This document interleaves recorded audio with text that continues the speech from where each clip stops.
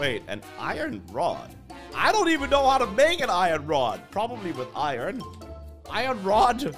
I guess I need iron bars. Okay, so we're gonna need more iron, right? Well, this time I'll do it a little bit differently. I'll do it from up here. That seems a little bit better. More efficient. Okay, so in order to make a lightning rod, I'm gonna need copper.